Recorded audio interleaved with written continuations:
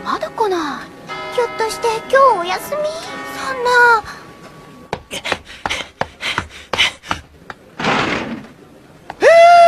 間に合った。城之内くん遅い。さっさと席に着け。先生が来るぞ。お。へえゆうべ遅くまでビデオ見てて寝坊しちまって。エッチなやつか？失礼なこと言うな。香港アクションだよ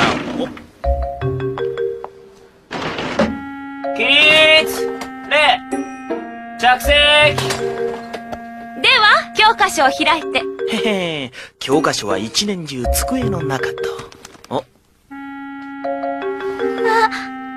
なんだこれ。バカ城之内早く隠して城之内くん？授業中に何の真似？あや弁それにしては随分可愛らしいお弁当だこと